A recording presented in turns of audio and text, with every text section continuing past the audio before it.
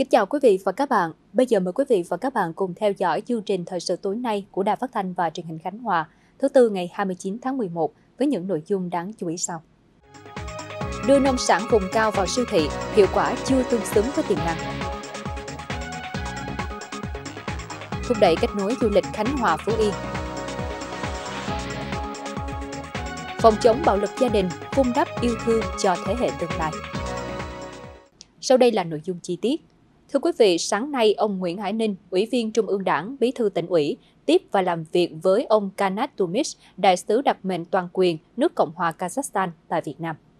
Ông Nguyễn Hải Ninh, Bí thư tỉnh ủy thông tin khái quát về tình hình phát triển kinh tế xã hội của tỉnh, trong đó du lịch và thủy sản là thế mạnh của tỉnh. Mong muốn thời gian tới, Nha Trang Khánh Hòa sẽ đón nhiều khách du lịch từ Kazakhstan. Thông qua con đường ngoại giao, sẽ trao đổi cụ thể nội dung bản thỏa thuận hợp tác giữa hai nước. Lọc hóa dầu là thế mạnh của Kazakhstan, vì vậy tỉnh mong muốn đón nhà đầu tư Kazakhstan vào khu kinh tế Vân Phong. Bí thư tỉnh ủy mong ngài đại sứ quan tâm ủng hộ, tích cực thúc đẩy thiết lập quan hệ hợp tác kết nghĩa giữa tỉnh Khánh Hòa với thành phố Almaty, Kazakhstan là cầu nối thúc đẩy hợp tác đầu tư xúc tiến thương mại, ngoại giao đoàn, ngoại giao nhân dân giữa hai nước, hai địa phương trong lĩnh vực giáo dục văn hóa, góp phần vun đắp mối quan hệ truyền thống tốt đẹp giữa hai dân tộc. Cảm ơn sự đón tiếp trọng thị của lãnh đạo tỉnh dành cho đoàn, Đại sứ Kanat Tumis cho biết sẽ thúc đẩy tăng chuyến bay trực tiếp từ Kazakhstan đến tỉnh Khánh Hòa và ngược lại, từ 4 chuyến lên 6 chuyến một tuần. Năm 2024 sẽ mở chuyến bay thương mại vận chuyển hàng hóa giữa hai nước qua cửa ngõ Khánh Hòa, thúc đẩy kinh tế giữa Kazakhstan đến Việt Nam nói chung và tỉnh Khánh Hòa nói riêng trong lĩnh vực du lịch, nông nghiệp, xây dựng. Dịp này, Ngài Đại sứ gửi lời mời bí thư tỉnh ủy Nguyễn Hải Ninh sang Kazakhstan nhân chuyến thăm và làm việc tại Cộng hòa Kazakhstan của Chủ tịch nước Võ Văn Thưởng vào tháng 6 năm 2024. Hợp tác phát triển dự án thí điểm về công nghệ xử lý chất thải thu hồi năng lượng WTE là nội dung tại buổi làm việc sáng nay của đoàn công tác Bộ Tài nguyên và Môi trường Nhật Bản với Ủy ban Nhân dân tỉnh Khánh Hòa. Phó Chủ tịch Ủy ban Nhân dân tỉnh Trần Hòa Nam cùng đại diện các sở ngành có liên quan tiếp và làm việc với đoàn. Theo thống kê, trong năm 2022, khối lượng chất thải rắn sinh hoạt được thu gom trên toàn tỉnh vào khoảng 360.000 tấn, tương đương hơn 980 tấn một ngày. Biện pháp xử lý chất thải rắn hiện nay chủ yếu là chôn lấp. Một số bãi chôn lấp đang được áp dụng công nghệ chôn lấp hợp vệ sinh. Khánh Hòa đã có chủ trương xây dựng nhà máy xử lý chất thải rắn sinh hoạt tại Nha Trang, Ninh Hòa và Cam Lâm.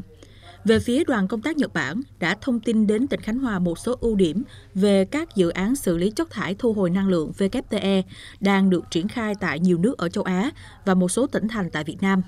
Những hỗ trợ từ phía Bộ Tài nguyên và Môi trường Nhật Bản. Theo đó, các dự án WTE giúp giảm đáng kể lượng khí nhà kính phát sinh ở các bãi chôn lấp, từ đó có thể hưởng lợi từ cơ chế định giá carbon. Phó Chủ tịch Ủy ban Nhân dân tỉnh Trần Hòa Nam cho biết, nếu dự án WTE của Nhật Bản có thể xử lý được khoảng 300 tấn chất thải rắn một ngày, sẽ phù hợp với định hướng của tỉnh về xây dựng nhà máy xử lý chất thải rắn, từ đó xem xét đưa vào triển khai và hoạt động tại khu vực phía Bắc Khánh Hòa, trong đó có khu kinh tế Vân Phong. Lãnh đạo tỉnh đề nghị Sở Kế hoạch và Đầu tư tiếp tục phối hợp làm việc với đoàn công tác Nhật Bản, cụ thể hóa các nội dung để có thể đi đến hợp tác giữa hai bên. Hội nghị đối thoại tiếp nhận thông tin của các doanh nghiệp du lịch trên địa bàn tỉnh Khánh Hòa đã diễn ra vào sáng nay tại thành phố Nha Trang. Phó Chủ tịch Thường trực Ủy ban Nhân dân tỉnh Lê Hữu Hoàng tham dự hội nghị cùng khoảng 70 đại diện doanh nghiệp kinh doanh du lịch trên địa bàn tỉnh. Đại diện các doanh nghiệp đã đối thoại với ngành chức năng của tỉnh về một số vấn đề liên quan đến việc tạo điều kiện thuận lợi cho xe du lịch đưa đón khách trên một số tuyến đường trong thành phố Nha Trang, tạo điều kiện cho các doanh nghiệp du lịch tiếp cận vốn vay ưu đãi, giảm giá điện nước cho các doanh nghiệp kinh doanh khách sạn nhà hàng, tình hình trật tự an ninh an toàn cho khách du lịch. Đại diện các sở ngành liên quan đã trực tiếp trao đổi, trả lời những thắc mắc của doanh nghiệp theo đúng thẩm quyền. Phát biểu tại chương trình, Phó Chủ tịch Thường trực Ủy ban Nhân dân tỉnh Lê Hữu Hoàng nhấn mạnh, Hội nghị đối thoại là dịp để gặp gỡ và tiếp nhận phản ánh kiến nghị từ các doanh nghiệp kinh doanh du lịch trên địa bàn tỉnh. Qua đó, lãnh đạo tỉnh sẽ lắng nghe, trao đổi, giải quyết các ý kiến của cộng đồng doanh nghiệp về những khó khăn vướng mắt trong quá trình hoạt động, từ đó đề ra những giải pháp, chính sách phù hợp hỗ trợ doanh nghiệp khắc phục những khó khăn, phục hồi và phát triển, ổn định an sinh xã hội. Sáng cùng ngày, Phó Chủ tịch Ủy ban Nhân dân tỉnh Đinh Văn Thiệu đã chủ trì cuộc họp với các sở ngành đơn vị liên quan về việc thực hiện chính sách bảo hiểm xã hội, bảo hiểm y tế giai đoạn 2023-2030 trên địa bàn tỉnh. Thời gian qua, việc thực hiện chính sách bảo hiểm xã hội, bảo hiểm y tế, bảo hiểm thất nghiệp đã góp phần đảm bảo an sinh xã hội trên địa bàn tỉnh. Tuy nhiên, tại một số địa phương, cơ quan, đơn vị, công tác này vẫn còn tồn tại hạn chế. Tỷ lệ người tham gia bảo hiểm xã hội bắt buộc và tự nguyện còn thấp, chỉ đạt hơn 36%. Nợ động bảo hiểm xã hội còn kéo dài. Nhiều doanh nghiệp chưa thực hiện quy định về đóng bảo hiểm xã hội, bảo hiểm y tế cho người lao động. Việc khám chữa bệnh bảo hiểm y tế còn nhiều vướng mắc chưa đáp ứng được nhu cầu của người dân.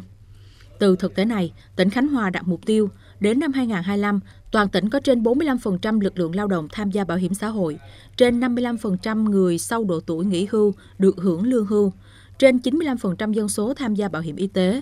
Mức độ hài lòng của người dân về thụ hưởng bảo hiểm xã hội, bảo hiểm y tế đạt 90%. Đến năm 2030, các chỉ số này tăng thêm từ 10 đến 15%. Khánh Hòa xây dựng được hệ thống bảo hiểm xã hội, bảo hiểm y tế hiện đại, chuyên nghiệp, hiệu quả, đáp ứng yêu cầu công nghiệp hóa hiện đại hóa. Kết luận cuộc họp, Phó Chủ tịch Ủy ban Nhân dân tỉnh Đinh Văn Thiệu cơ bản thống nhất nội dung của kế hoạch thực hiện chính sách bảo hiểm xã hội, bảo hiểm y tế trên địa bàn tỉnh Khánh Hòa. Đồng thời, giao các sở ngành liên quan tiếp thu các ý kiến đóng góp, khẩn trương hoàn thiện dự thảo kế hoạch, trình Ủy ban Nhân dân tỉnh phê duyệt trong tháng 12 năm nay. Chiều nay, Phó Chủ tịch Ủy ban Nhân dân tỉnh Trần Hòa Nam đã chủ trì cuộc họp Hội đồng Quản lý Quỹ hỗ trợ phát triển nghề cá Khánh Hòa về tình hình ủng hộ và kế hoạch hỗ trợ kinh phí cho huyện Trường Sa. Theo báo cáo của Hội đồng Quản lý Quỹ Phát triển nghề cá, đến nay, quỹ đã tiếp nhận được hơn 24 tỷ 200 triệu đồng ủng hộ. Trong đó có hơn 21 tỷ 800 triệu đồng tiền mặt và 10 máy lọc nước ngọt trị giá hơn 2 tỷ 300 triệu đồng. Tại cuộc họp chiều nay, các đại biểu thảo luận về đề xuất hỗ trợ đầu tư xây dựng 5 lò đốt rác trên các đảo sông Tử Tây, Nam Yết, Sơn Ca, Sinh Tồn, Đá Tây thuộc quần đảo Trường Sa với kinh phí dự kiến 10 tỷ đồng. Đề nghị hỗ trợ kinh phí đầu tư xây dựng thêm 3 khu tăng gia tập trung cho các đảo với kinh phí hơn 7 tỷ đồng. Ngoài ra, Ủy ban Nhân dân huyện Trường Sa đã có công văn không tiếp nhận 10 máy lọc nước do nguồn nước tại các xã đảo khó khăn nên sử dụng hệ thống lọc để bơm nước tăng gia sản xuất là không thiết thực. Nguồn điện sử dụng cho máy bơm cũng không đảm bảo. Vì vậy, đề xuất chuyển ủng hộ số máy này cho Ủy ban Nhân dân tỉnh Khánh Hòa, hỗ trợ cho các địa phương đơn vị có nhu cầu trên địa bàn tỉnh. Phó Chủ tịch Ủy ban Nhân dân tỉnh Trần Hòa Nam yêu cầu Sở Nông nghiệp và Phát triển Nông thôn tham mưu đăng ký làm việc với quân chủng hải quân để thảo luận việc triển khai thực hiện các đề xuất liên quan.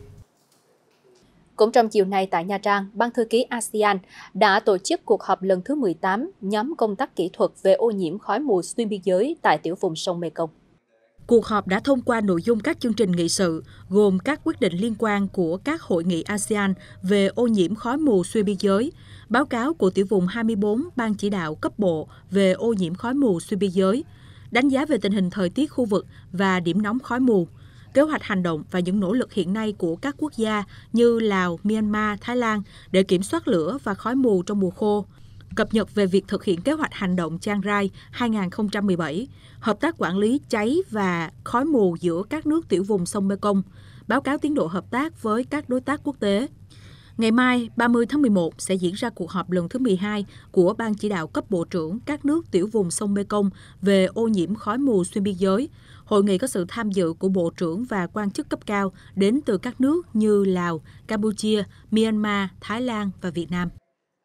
Chuyển sang một nội dung khác, Vụ đông xuân 2023-2024, huyện Vạn Ninh có kế hoạch đưa vào sản xuất hơn 3.655 hecta lúa. Đến nay, nông dân của huyện đã thực hiện xuống giống gần 2.100 hecta. Theo đó, Ủy ban nhân dân huyện Vạn Ninh chỉ đạo các xã thị trấn, các ngành chuyên môn hướng dẫn nông dân sử dụng đúng cơ cấu giống cây trồng, xuống giống theo đúng lịch thời vụ của từng địa phương, tăng cường tuyên truyền, vận động nông dân sử dụng giống có nguồn gốc rõ ràng, đảm bảo chất lượng, khuyến khích nông dân áp dụng chương trình 3 giảm 3 tăng và 1 phải 5 tăng nhằm tiết kiệm chi phí sản xuất, bảo vệ môi trường, nâng cao hiệu quả sản xuất lúa. Theo lịch sản xuất lúa vụ đông xuân 2023-2024, thời gian dự kiến tiến hành gieo xạ lúa trong các tháng 11 và 12, hoàn thành thu hoạch vào cuối tháng 3 năm sau. Đối với cây hoa màu, khi dứt mưa, tiến hành gieo trồng từ cuối tháng 12 đến tháng 1 năm sau.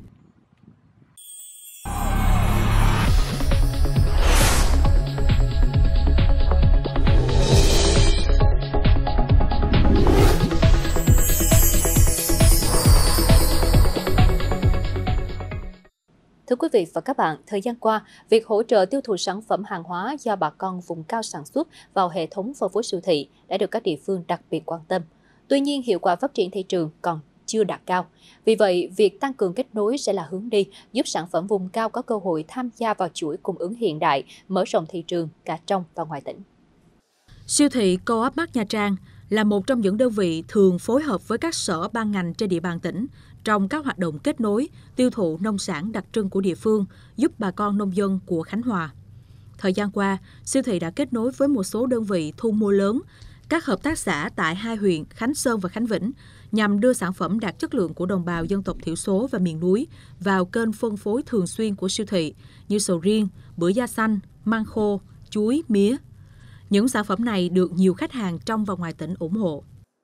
Tôi nghĩ là hiện nay mọi người đang rất là ưu tiên sử dụng những cái à, sản phẩm mà tốt và đảm bảo sức khỏe thì mong muốn của người tiêu dùng sẽ là đầu tiên là nhận được những sản phẩm về tay mình là chất lượng tốt,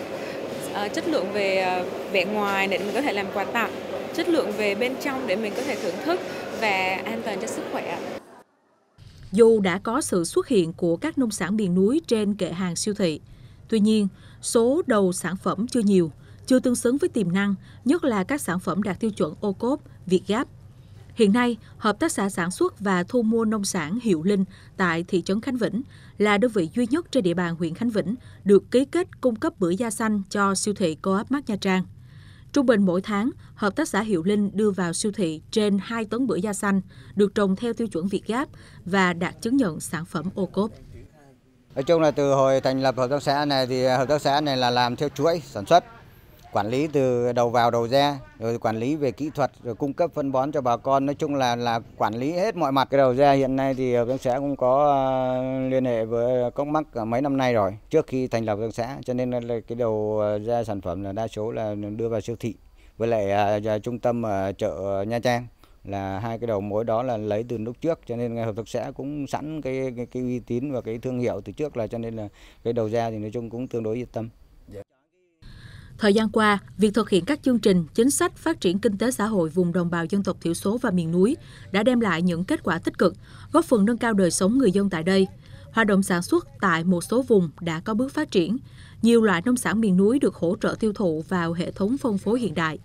Tuy nhiên, thực tế cho thấy, việc đưa hàng hóa của bà con đồng bào dân tộc thiểu số và miền núi vào các siêu thị vẫn còn nhiều hạn chế, chưa xứng tầm với tiềm năng và lợi thế của các địa phương. Nguyên nhân chính là do quy mô sản xuất nhỏ lẻ, hạ tầng thương mại còn hạn chế, chưa có nhiều đơn vị doanh nghiệp, hợp tác xã đứng ra chịu trách nhiệm kết nối cho bà con. Cái chương trình kết nối thì chưa có một cái doanh nghiệp nào đứng ra hỗ trợ hoặc hợp tác xã nào đứng ra hỗ trợ và kết nối các sản phẩm đưa cái sản phẩm này à, hoặc là hỗ trợ các chương trình thương mại cũng như là các giấy tờ hồ sơ pháp lý đầy đủ à, để cho đơn vị kinh doanh à, chủ động hơn trong công việc kinh doanh sản phẩm. Tôi à, cũng có cái băn khoăn là nhờ các cơ quan ban ngành thường xuyên tổ chức các cái cái sản phẩm ô cốp của đơn tại tỉnh Khánh Hòa. Thứ hai nữa hỗ trợ tuyên tuyên truyền vận động bà con uh, sản xuất người nông dân hiểu rõ hơn về các cái uh, thủ tục pháp lý. Việc đưa sản phẩm vào siêu thị sẽ góp phần đưa sản vật địa phương, đặc sản vùng đồng bào dân tộc thiểu số và miền núi đến tay người tiêu dùng các vùng miền khác một cách thuận lợi. Điều này sẽ góp phần thúc đẩy sản xuất, phát triển kinh tế các địa phương nói chung và vùng đồng bào dân tộc thiểu số miền núi nói riêng. Qua đó, còn góp phần thúc đẩy cuộc vận động người Việt Nam ưu tiên dùng hàng Việt Nam.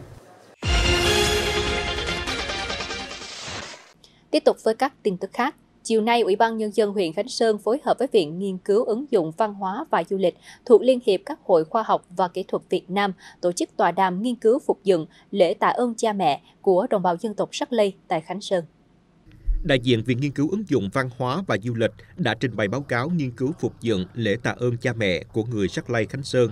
Tiếp đó, các đại biểu già làng, nghệ nhân, nhà nghiên cứu đã thảo luận cho ý kiến về tên gọi của lễ tạ ơn cha mẹ của dân tộc Sắc Lây Khánh Sơn – các nghi lễ, thành phần tham dự, lễ vật, đạo cụ, trang phục trong buổi lễ, cũng như cho ý kiến về thời gian tổ chức, độ tuổi của cha mẹ để làm lễ tạ ơn, nội dung nào cần tiết giảm và giữ lại cho phù hợp với đời sống mới mà vẫn giữ được nét đẹp văn hóa truyền thống của dân tộc Rắc Lai Khánh Sơn. Việc phục dựng dự kiến sẽ tổ chức trong tháng 12 năm nay, thời gian tổ chức trong một ngày tại nhà dài thôn Hoàng Dung, xã Sơn Hiệp, huyện Khánh Sơn. Công tác nghiên cứu phục dựng nghi lễ này nhằm góp phần thực hiện đề án bảo tồn và phát huy giá trị văn hóa truyền thống của đồng bào dân tộc Trắc Lây theo dự án bảo tồn và phát huy giá trị văn hóa truyền thống tốt đẹp của các dân tộc thiểu số gắn với phát triển du lịch giai đoạn 2021-2025 trên địa bàn huyện. Thưa quý vị và các bạn, trong hai ngày 27 và 28 tháng 11, ngành du lịch tỉnh Khánh Hòa đã tiến hành khảo sát và ký kết hợp tác du lịch với tỉnh Phú Yên. Đây là sự kiện có ý nghĩa quan trọng trong việc thúc đẩy phát triển du lịch của cả hai địa phương trong thời gian tới. Nhiều giải pháp kết nối sản phẩm du lịch để hình thành tuyến du lịch liên vùng cũng được các doanh nghiệp của hai địa phương thảo luận với hy vọng mở ra nhiều hướng phát triển du lịch hiệu quả, bền vững. Là hai tỉnh nằm liền kề, đều sở hữu nguồn tài nguyên thiên nhiên phong phú, nhiều di tích lịch sử văn hóa độc đáo, nhiều lễ hội văn hóa dân gian. Khánh Hòa và Phú Yên có nhiều thuận lợi cho việc phối hợp xây dựng, khai thác các hoạt động du lịch. Trước đây thì cũng có những cái sản phẩm là cho ở du lịch Khánh Hòa kết hợp Phú Yên nhưng sản phẩm ngắn ngày như đi về trong ngày. Nhưng mà sau cái chuyến khảo sát ngày hôm qua thì chúng thấy Phú Yên còn nhiều cái tiềm năng phát triển có thể là du lịch uh, Nha Trang mình kết, kết kết nối là từ sông Ai Cam Ranh đến Nha Trang Phú Yên là 5 ngày 4 đêm là 3 ngày đêm có thể là 3 đêm ở Nha Trang và 2 đêm ở Phú Yên là rất là hợp lý. Cũng hy vọng là giữa các hai bên nó sẽ có một cái cơ chế nó nó nó thông thoáng hơn một một xíu để là cho các doanh nghiệp nó có cái, một cái lợi thế nào đó để cho hợp tác thúc đẩy mạnh hơn, chứ không phải là một cái chuyện mà trên cái phương thức hợp tác trên giấy tờ đơn thuần nữa các ờ, đơn vị doanh nghiệp của Khánh Hòa sẽ có một cái mức giá hỗ trợ hợp lý nhất để cho ví dụ như là những cái đơn vị dịch vụ từ Phú Yên người ta đưa khách đến, hoặc là những cái đơn vị là của khách sạn từ những Phú Yên thì có thể là hợp tác được với những đơn vị lữ hành ở Nha Trang, Khánh Hòa. Trong những năm qua, ngành du lịch hai tỉnh bước đầu đã quan tâm hợp tác liên kết, kết nối xây dựng các chương trình du lịch chung, hỗ trợ đưa khách đến tham quan nghỉ dưỡng giữa hai địa phương. Tuy nhiên, hiệu quả mang lại chưa cao, chưa tương xứng với tiềm năng, điều kiện của hai tỉnh. Việc triển khai liên kết du lịch giữa Khánh Hòa và Phú Yên hiện nay còn gặp một số khó khăn, như giá phòng ở Phú Yên khá cao so với mặt bằng chung tại Khánh Hòa, ít sản phẩm vui chơi về đêm, ít các mặt hàng lưu niệm nên khó xây dựng tour. Hướng đến mục tiêu phát triển du lịch bền vững của cả hai địa phương trong thời gian tới, Khánh Hòa và Phú Yên đã thực hiện ký kết hợp tác trên 5 lĩnh vực, gồm quản lý nhà nước, phát triển sản phẩm du lịch, tuyên truyền, xúc tiến, quảng bá du lịch, kêu gọi đầu tư, bồi dưỡng, đào tạo nguồn nhân lực du lịch. Hàng loạt ờ, các sản phẩm dịch vụ của du lịch Khánh Hòa cũng như Phú Yên sẽ tạo một cái ờ, sản phẩm chung để triển khai trong ờ, thời gian đến À, để chúng ta có có những cái sản phẩm chung liên kết vùng để giới thiệu cho du khách trong và ngoài nước à, sẽ kéo dài thêm được cái thời gian lưu trú của khách du lịch đến à, Khánh Hòa hoặc Phú Yên. À, hiện nay là chúng tôi đang mong muốn là sự kết nối với hạ tầng giao thông. Cái điều này là rất cần thiết là khách đi đến trong ngày hoặc là đi chơi ở Khai Phú Yên nhưng mà vừa Khánh Hòa ngủ hoặc là ngược lại. Đấy là cái mà chúng tôi mong muốn nhất đỡ cho sự kết hợp giữa hai địa phương tạo ra một cái, cái vùng du lịch để cho khách đến đó được cơ hội chiêm ngưỡng và thưởng thức để đẩy mạnh kết nối du lịch Khánh Hòa Phú Yên đem lại hiệu quả cao, lãnh đạo hai địa phương cũng chỉ đạo ngành du lịch chú trọng xây dựng sản phẩm du lịch liên kết, nhất là các tour biển đảo, vốn là thế mạnh của cả hai nơi. Cùng với đó, nghiên cứu sản phẩm du lịch gắn với văn hóa chăm độc đáo của ba địa phương Phú Yên, Khánh Hòa, Ninh Thuận. Từ đó hình thành tour du lịch kết nối sản phẩm du lịch văn hóa đặc sắc này, giới thiệu đến du khách trong và ngoài nước. Các doanh nghiệp hàng không quan tâm tạo điều kiện khôi phục các đường bay trước đây, mở thêm các đường bay mới, ưu đãi về giá vé cho khách bay đến Khánh Hòa, Phú Yên. Từ đó có cơ hội chia sẻ lượng khách cho nhau. Giải đấu golf Vinpearl DIC Legends Việt Nam 2023 đã chính thức khai mạc tại Vinpearl Nha Trang. 24 tay golf huyền thoại quốc tế cùng 72 vận động viên nghiệp dư Việt Nam tham gia tranh tài từ hôm nay đến ngày 2 tháng 12. Các vận động viên được chia thành 24 đội, mỗi đội bao gồm một vận động viên chuyên nghiệp và 3 vận động viên nghiệp dư. Giải diễn ra theo thể thức Scramble, đấu gậy, theo đội 4 người, không áp dụng handicap trong một vòng đấu 18 hố cho bộ giải. Đội chiến thắng giải là đội có tổng điểm thực thấp nhất khi giải đấu kết thúc. Mỗi vận động viên trong đội bắt buộc phải chọn tối thiểu 3 cú phát bóng trong vòng đấu 18 hố. Vinpearl TSC Legend Việt Nam 2023 đánh dấu Việt Nam là quốc gia đầu tiên tại Đông Nam Á tham gia vào chuỗi giải đấu uy tín quy mô tầm cỡ của European Legend Tour. Đây là điều kiện thuận lợi để du lịch góp trở thành sản phẩm du lịch của tỉnh Khánh Hòa nói riêng, cả nước nói chung, thu hút khách du lịch cao cấp trong thời gian đến. Hưởng ứng cuộc vận động, mỗi tổ chức cá nhân gắn với một địa chỉ nhân đạo do Trung ương Hội chữ thập đỏ phát động. Sáng nay, công ty cổ phần nước giải khát Yến Xào Khánh Hòa Sabenet phối hợp với Bộ đội biên phòng tỉnh và chính quyền các địa phương tổ chức trao tặng 6 nhà tình nghĩa cho các gia đình có hoàn cảnh khó khăn tại thị xã Ninh Hòa, huyện Diên Khánh và thành phố Cam Ranh. Công ty còn trao tặng thêm cho các gia đình một phần quà trị giá 10 triệu đồng, gồm tủ lạnh và quạt làm mát đây là hoạt động thể hiện trách nhiệm đối với cộng đồng, đồng hành cùng chính quyền của công ty, nhằm góp phần giúp đỡ các đối tượng chính sách có hoàn cảnh đặc biệt khó khăn, xóa đói giảm nghèo và xây dựng cộng đồng ngày càng tốt đẹp hơn. Theo kế hoạch, trong năm 2023, công ty dự kiến sẽ xây dựng và trao tặng 15 căn nhà đại đoàn kết cho các gia đình có hoàn cảnh khó khăn, mỗi căn nhà trị giá 70 triệu đồng. Hội thi vẽ tranh Bé với an toàn giao thông cho trẻ mẫu giáo 5-6 tuổi năm học 2023-2024 vừa được Phòng Giáo dục và Đào tạo huyện Cam Lâm tổ chức vào sáng nay. Tham gia hội thi có 39 trẻ từ 5 đến 6 tuổi đến từ 15 trường mầm non, mẫu giáo trên địa bàn huyện. Trong thời gian 120 phút, các em vẽ tranh trực tiếp trên khổ giấy A3 về các hoạt động giao thông đường bộ. Kết thúc hội thi, ban tổ chức trao 5 giải nhất, 8 giải nhì, 10 giải ba và 16 giải khuyến khích cho các bé có thành tích cao. Nhân dịp này, Công an huyện Cam Lâm đã tặng mũ bảo hiểm cho các thí sinh tham dự hội thi. Thông qua hội thi nhằm tạo sân chơi cho trẻ mầm non mẫu giáo, thể hiện ý tưởng sáng tạo, niềm đam mê với màu sắc, góp phần hình thành nhận thức, kỹ năng, thái độ cho trẻ về an toàn giao thông ngay từ độ tuổi mầm non. Thưa quý vị và các bạn, toàn tỉnh Khánh Hòa hiện có hơn 308.000 hộ gia đình, trong đó có khoảng 303.000 hộ được công nhận gia đình văn hóa đạt tỷ lệ 98%. Để có được kết quả trên trong những năm qua, ngành văn hóa đã quan tâm chỉ đạo thực hiện công tác gia đình, trọng tâm là xây dựng gia đình văn hóa theo các mục tiêu no ấm, bình đẳng, tiến bộ, hạnh phúc và phát triển bền vững, đẩy mạnh phòng ngừa, ngăn chặn bạo lực gia đình. Việc xây dựng môi trường văn hóa lành mạnh trong gia đình có phần quan trọng trong xây dựng gia đình văn hóa, có phần nâng cao chất lượng gia đình, tế bào của xã hội.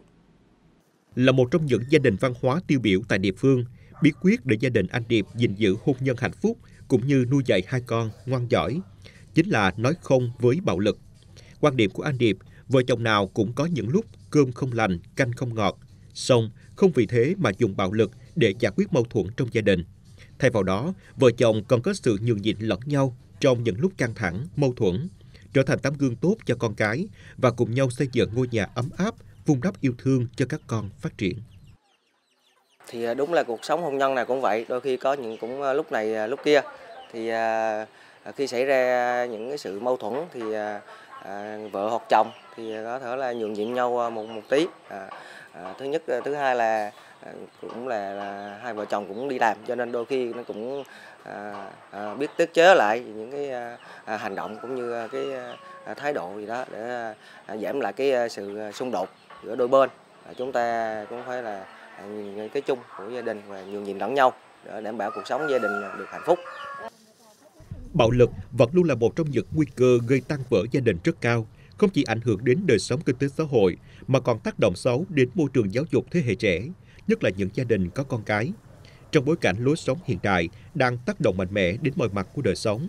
đe dọa sự duy trì tồn tại của văn hóa gia đình truyền thống, càng đặt ra những yêu cầu đối với việc xây dựng một gia đình có môi trường văn hóa lành mạnh, những năm qua, bằng sự chỉ đạo sâu sát từ các cấp ngành, nhất là ngành văn hóa, công tác phòng chống bạo lực gia đình trên địa bàn tỉnh đã có những chuyển biến rõ rệt, giảm thiểu số vụ bạo lực gia đình. Theo đánh giá, địa phương nổi bật nhất trong công tác phòng chống bạo lực gia đình là thị xã Ninh Hòa. Theo báo cáo từ Phòng Văn hóa và Thông tin thị xã, từ đầu năm đến nay, Ninh Hòa không có vụ bạo lực gia đình nào xảy ra. Có được kết quả này cũng là nhờ việc duy trì hoạt động hiệu quả của các câu lạc bộ, nhóm, tổ hòa giải, phòng chống bạo lực gia đình. Hàng năm thì có sự là, cái sự duy trì của ờ, cái tổ hòa giải. Thì có cái sự trao đổi, hội họp và các thành viên trong tổ hòa giải về thực hiện ờ, là theo cái cái cái hướng dẫn quy định của tư pháp. Cho nên cái việc tuyên truyền trong bè con nhân dân, rồi cũng có cái sự mà triển khai quán triệt trong các cái thành viên trong tổ hòa giải cho nên về cái sự đó thì trong năm thì cũng thống nhất mọi sự việc à, thì thực hiện nó cũng tốt. Trong thời gian vừa qua thì à, cái à, việc duy trì hoạt động của các tổ này thì cơ bản là vẫn vẫn đảm bảo. Cái buổi sinh hoạt của câu lạc bộ này chủ yếu là để à, à trao đổi trong thành viên trong trong câu lạc bộ cũng như là có cái buổi đặc biệt là nhân cái buổi à, họp dân đó, các buổi họp sinh hoạt của dân thì là phối hợp lồng ghép luôn là tuyên truyền để người dân nắm được cái à, luật phòng chống bạo lực gia đình cũng như là luật bình đẳng giới để tạo cái sự đồng thuận trong nhân dân rồi để nâng cao hơn ý thức để à, hạn chế đến cái tình trạng bạo lực gia đình trên địa bàn thị xã trong thời gian vừa qua. Theo số liệu từ Sở Văn hóa và Thể thao, những năm gần đây, số vụ bạo lực gia đình trên địa bàn tỉnh có sự giảm thiểu rõ rệt. Trong 6 tháng đầu năm 2023, toàn tỉnh chỉ có 12 vụ bạo lực gia đình được báo cáo. Để có được kết quả trên, ngành văn hóa đã tích cực chủ động phối hợp với các địa phương, đơn vị, đoàn thể trong việc duy trì hiệu quả, nâng cao chất lượng hoạt động, cũng như mở rộng mạng lưới các câu lạc bộ, tổ nhóm về hòa giải, phòng chống bạo lực gia đình. Theo đó, hiện toàn tỉnh có 195 mô hình phòng chống bạo lực gia đình theo chuẩn của Bộ Văn hóa, Thể thao và Du lịch, hơn 1.500 câu lạc bộ gia đình phát triển bền vững, nhóm phòng chống bạo lực gia đình và gần 1.600 địa chỉ tin cậy tại cộng đồng. Thời gian tới, ngành văn hóa tiếp tục tăng cường công tác phối hợp với các sở ngành địa phương để triển khai thực hiện các nhiệm vụ, hoạt động đẩy mạnh công tác phòng chống bạo lực gia đình nhằm thực hiện chương trình về phòng chống bạo lực gia đình trên địa bàn tỉnh đã được Ủy ban nhân dân tỉnh phê duyệt. Đồng thời, đa dạng hóa các hình thức tuyên truyền với nội dung thiết thực, phù hợp với điều kiện thực tiễn của từng địa phương nhằm tạo sự lan tỏa, hiệu ứng xã hội mạnh mẽ trong công tác phòng chống bạo lực gia đình, hướng đến xây dựng gia đình văn hóa trong thời kỳ mới. Chương trình thời sự tối nay của Đài Phát thanh và Truyền hình Khánh Hòa xin được khép lại tại đây. Cảm ơn quý vị và các bạn đã quan tâm theo dõi. Xin kính chào tạm biệt.